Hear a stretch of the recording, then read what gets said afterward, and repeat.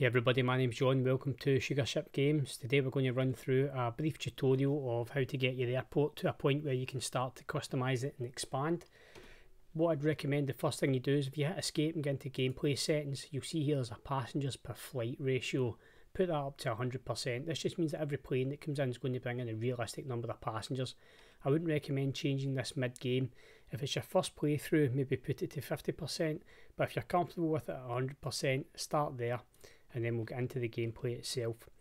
One of the things I mentioned in my quickfire tips, and if you haven't done that, I'll link it at the top, is to go through the introduction. It's going to tell you everything you need to know. So here, your building panels at the bottom. This is where you have all the different things that you're going to need for your airport. Uh, you'd also have your R&D panel. Now, if you hit tab, this will open up this field here. If you hit next, you've got your economy. And then you've got your main operations overview. Now, this is where we're going to open the airport allow general aviation, which is passengerless flights, just as if you were hiring a plane. And then you've got all your additional options here. If you hit next, it's going to take you to your airport ratings, which is down the bottom. This isn't really relevant just now, but it's something that we'll get back to in a later video.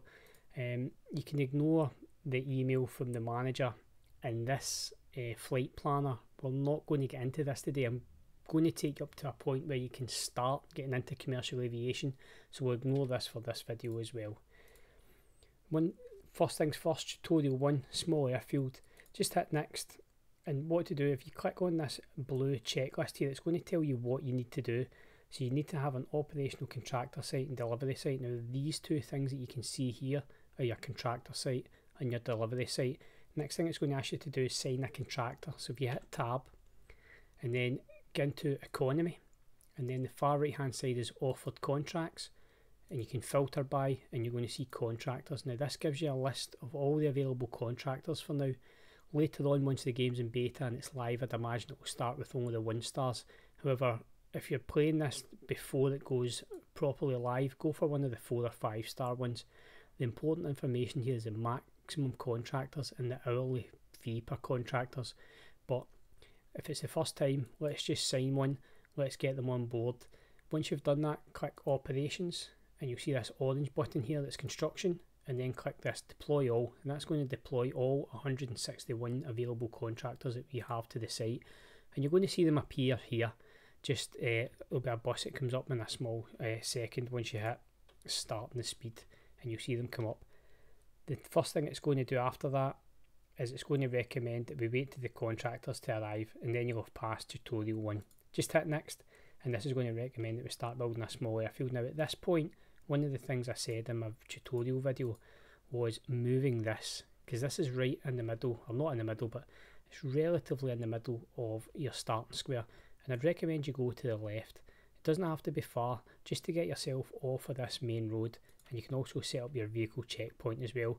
You see this rotating, if you press the R key that will rotate an item and if you press the E key that rotates the map. I like to have the roadway at the bottom so that I'm always in the same orientation. If you zoom in on this you'll see there's two different coloured icons.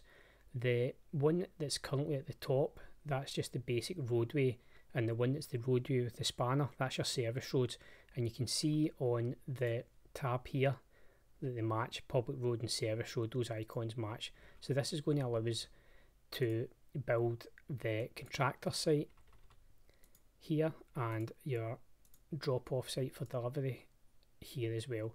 And you can go to the bulldozer tool and you can get rid of all of this. You'll notice here that you can't remove this section of road. That's hardwired into the game. There's no way to move that. All these contractors will move here and that allows you to utilize this area for runways or anything that you want. Once you're into this point you're going to have to decide what kind of runway you want now you've only got access to the small runway. You can pick grass or you can pick asphalt. You have to decide really at this point what kind of runway setup do you want. So if you if we'll just pause the game, I'll show you what you have the options of. You can have one runway, so the plane will land, it'll taxi around, there'll be stands here, and then it takes off. And they can do that from the same runway. Your second option is to have two different runways.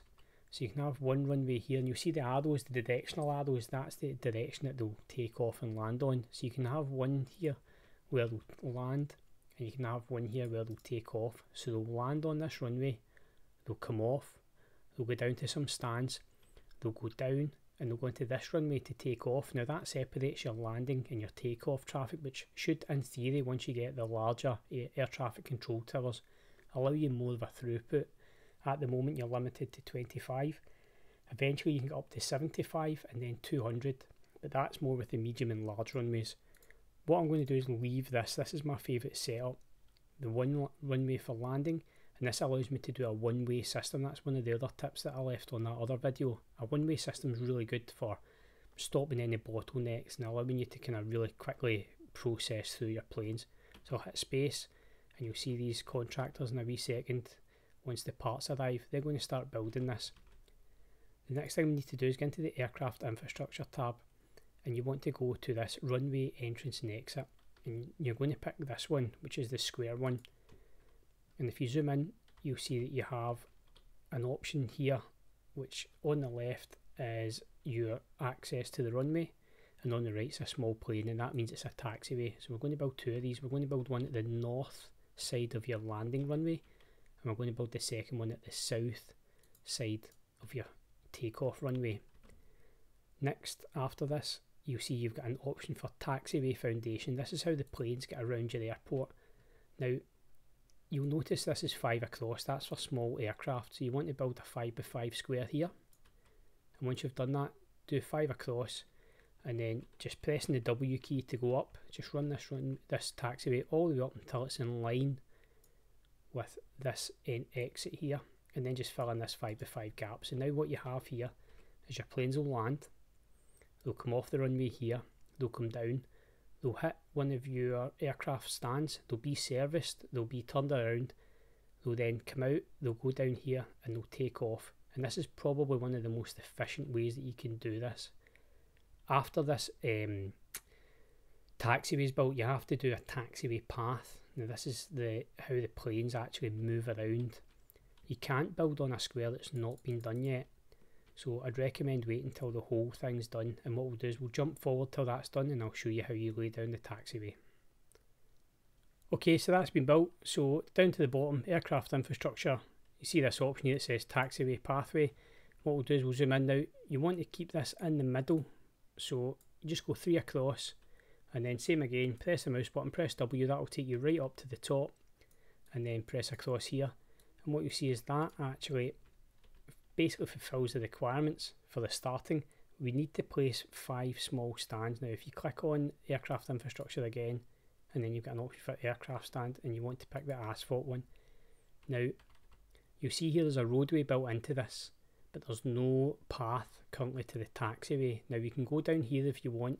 What I would recommend is you leave this area because we're going to need a fuel dump and a few other things in here. So what I would do is I would actually start from here now. One stand is five squares so don't go here because you may want to extend this at one point. Scroll down so that you click that one and then you've got space here to expand your runway uh, sorry your taxiway. So we're going to go one two three four five six seven eight and we'll just skip forward till they're ready okay the five of those are built so let's now connect them. See the taxi pathway? You just have to connect these across like this and you'll see the icons disappear from these. Now, when you get into the next part, which is commercial aviation, these actually have different options, but we're going to ignore those for now. The one thing we want to do just now is we want to get out our general uh, general aviation stands in. So back down to aircraft infrastructure, air traffic control tower, a small tower here. I usually place this right next to the security booth because it's only 2 by 2 and it keeps out of the way. Okay, so you'll notice that once you've built the air traffic control tower, it takes us to this first part of the tutorial being complete. So now it's time to accept our first flight. So if you click next, you see on this drop down here, we've got options to open the runway and open the airport. So if you hit tab, click on this airport control panel under operations, there's an airport closed option. So we're going to click that to airport open.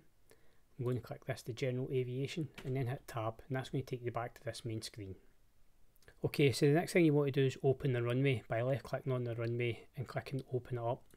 Now this setup slightly different from normal. What I want you to do is click on the landing runway and here under operational mode you want to click arrival only and then click open runway and on this one you want to click departure only and then click open runway. If you leave it on the land and takeoff it's going to expect two entrances or exits, these things here, to be attached to each runway. But in doing this, you've specified that this is for landing only and this is for takeoff only. And we just have to wait for these five flights to land. So we'll skip forward till that's done. Okay, congratulations on completing part three. This is on us on to part four where it talks about aircraft refueling. So just hit next. Drag a service road and connect the vehicle checkpoint with your stands. Now just a quick tip when you're doing these service roads, if you click infrastructure and transportation and then the asphalt service road, you can, if you wish, do this and I'll just pause it. So you can run this down here. Now, the reason why I wouldn't recommend this is because let's say you wish to add in some more stands. You can't. You have to remove this. Now, in between the time of you removing this and rebuilding the stand. You might have a fuel truck up here or a baggage truck or a stair lift or anything up here. Now when they're up there and they want to get down here, they can't.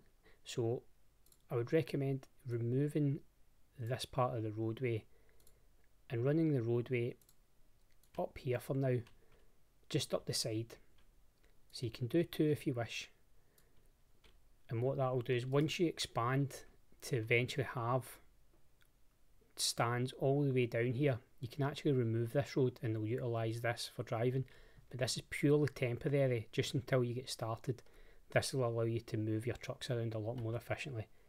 Okay, so we need to place a vehicle depot next. So if you click on aircraft infrastructure, you have two options here. You can either pick a vehicle depot or you can pick a small vehicle parking lot.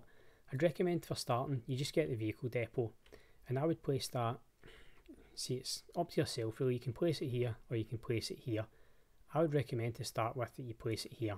And this just makes it a bit easier for them to get up and down because as soon as you come in here you've got that turn. You don't want them coming in and out here and blocking this route. You also want to place a fuel dump so under the aircraft infrastructure again you'll see this orange option now at the moment we only have small avgas which is red once we get access to the, uh, the jet fuel that gives us a little black option there so click on the small avgas which is red and I would place that just next to it here in red. And we'll just skip forward till those are built. Okay, those are both built, excellent. So now if you click next, you're on to part 5 of the small airfield. I'm going to purchase an avgas fuel truck. Now at the moment we've only got, see what's that, 7 or 8 stands. So if you hit tab, go to vehicles, and this option here, the purple one is purchase. We've only got one option now which is the Fjord fuel tank truck. So if you hit just go for four and then click order now and they'll arrive in about 45 in-game minutes which is quite quick on 3 speed. You'll see them arrive at the bottom, they'll go through the gate and they'll get into here. We also have to sign a contract because at the moment there's no one here to fuel this. You've got two ways to do this. You can either hit tab, go to economy and offered contracts, filter by and then aviation supplies. Or your easier option is click on the fuel depot and then you'll see an option for sign contract. When this opens up, you're going to see a list of fuel suppliers. Now, on yours, it's probably all going to be fake. You can see here I've got things like Total, BP, Shell. That's because I've downloaded the patch that gives me the real ones as well. I'm going to click on Shell. The important information that you want is here. Aviation gas is £1 per litre. Jet A1 fuel is 20 pence per litre. So if you sign that, that basically determines how much profit you're going to make. You see some of these other ones are 90 pence per litre and 20 pence per litre. So you can make a little bit more money. It just depends on what one you want. So we'll need to wait on the fuel truck arriving to fuel it. The fuel truck's currently going up and down and the main tank is going to be empty again. Okay, so our main tank's full and what you can see here is the 100% shows you that there's 30,000 litres in there. What I would suggest doing is changing this slider here. Now underneath it you can see it going up I would recommend changing it to about 40%. What that means is that once this is down to 40% or less of the available fuel, it's going to bring in another truck to refill it. And the reason for that is that you don't want to leave it down at 10% and then you end up with a truck that takes three, uh, 3,000 litres and then it doesn't fill up a truck at an airplane and then you end up having to wait for fuel. 40% for this I find is a good level. So we've done that. We need to hit tab now, go to operations and then the airport control panel. And we have an option here for avgas fuel service disabled. Just change that so that it's enabled. Hit the cross and what you'll see now is some of these planes are actually going to start refueling. So we'll skip forward here, we'll just fast forward and you'll see the trucks being re uh, refueling the planes. Okay, so one of the trucks has just been called out here. And it's going to refuel this plane here from Alliance, Muni Alliance Municipal Airport. And that's the second plane being refueled. You can see what I mean here they'll just skip onto this side road and down. So once we expand this we can take this side road away and we'll actually build a terminal down here long term Okay, that's us completed tutorial 1. Tutorial 2, as you can see on the left hand side, is actually going to build us up from a general aviation airport to a passenger airport which obviously you've downloaded the game. This is the next thing that you want to get into. I'm going to do a separate video on where we transition from this video into the passenger airport because we need to make a few tweaks, a few changes, but that's the sort of thing that's probably best shown in another video. If you've enjoyed this video, please leave a like and comment. Um, apologies for the bumbling kind of around. It's not as easy to make these as I thought it would be. If you've enjoyed the content, please check out some of my other videos. And if you've got any suggestions for me, please leave a comment down below. I read everything and it really makes my day when I see someone commenting and liking the videos. My name's John, thanks for joining me, and I'll see you in the next video.